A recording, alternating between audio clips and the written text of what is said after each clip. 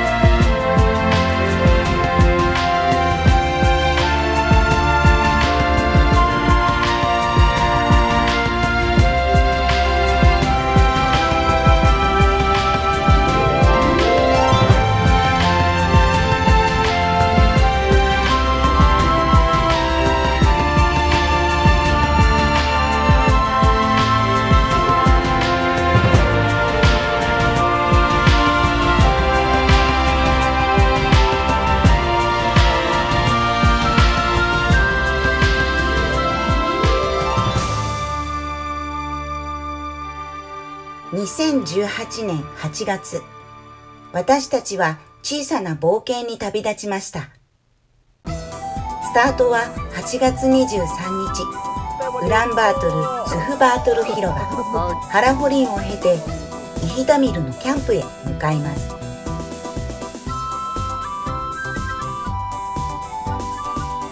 8月24日、2日目。とにかくひたすらに西に向かう旅ですそこはモンゴルの西の果て。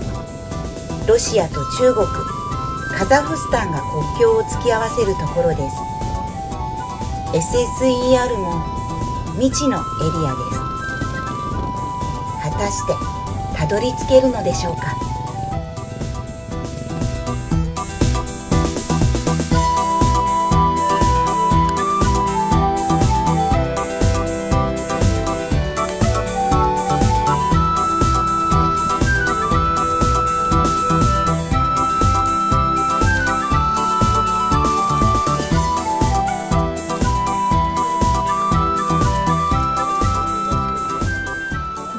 8月25日3日目の朝。今日は競技が長いみたいなんでみんなに遅れないように頑張ってついてきます。今日は苦しいと思うよ。明るいうちにつければ本当にねラリーと変わらない苦しさ味わうと思うね。オリアス隊を出発しました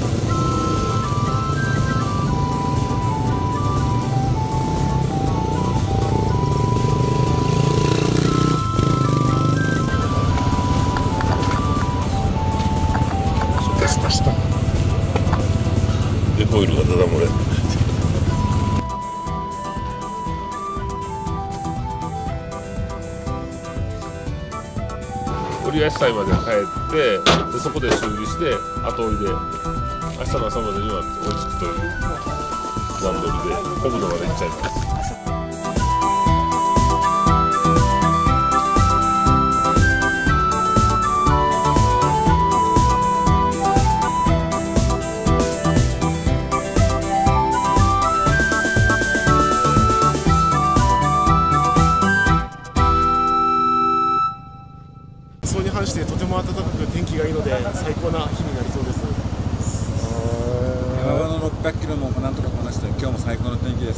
です嬉しいです。楽しんでます。これからもっと楽しみです。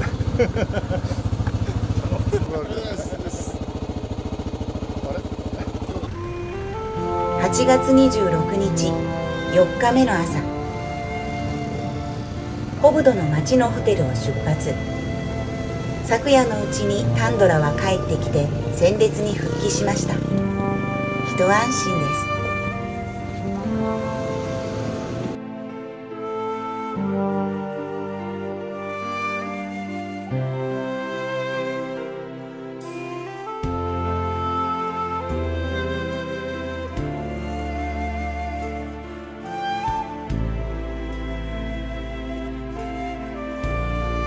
そしてウルギーに到着。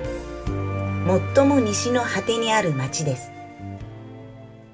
この町はバヤンウルギーっていう町ですよ。まあとにかくモンゴルの一番西にある町でまあ寒いとこですね。標高も高いし。ただカザフスタン側の、まあ、ロシアから入ってくる国境から来るとこの町を通って、えー今朝泊まってたホブドっていう町を通って、まあ、ウランバートルに向かう道がありますから、まあ、ツーリストたちがよく通る道ではありますね。何台もヨーロッパからの車やバイクはね今日も通ってましたね。初めてなんですがこれから。昨日夜サボっちゃった。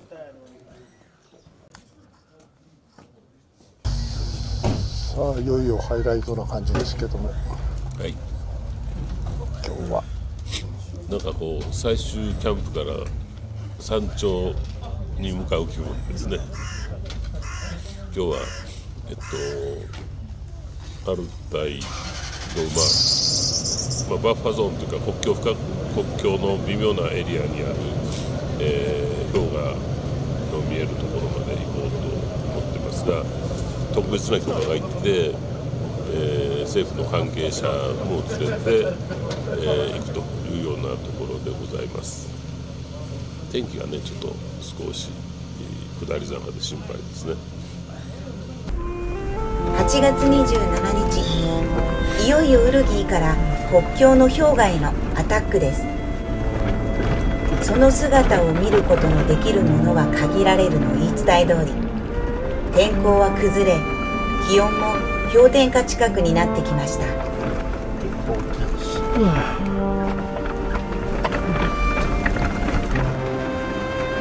ここから先のアタックを明日に変更しゲート脇にあるゲルに泊まることにしました。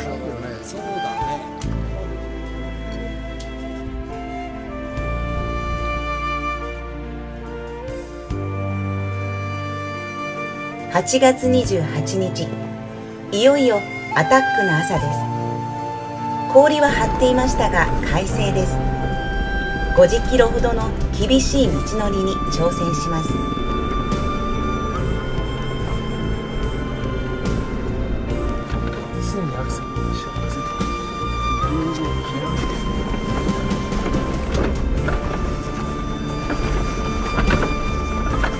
1時間。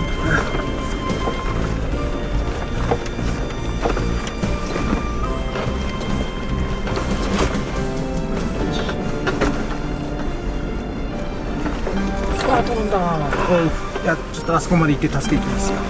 僕が行くんで大丈夫ですよ。よし OK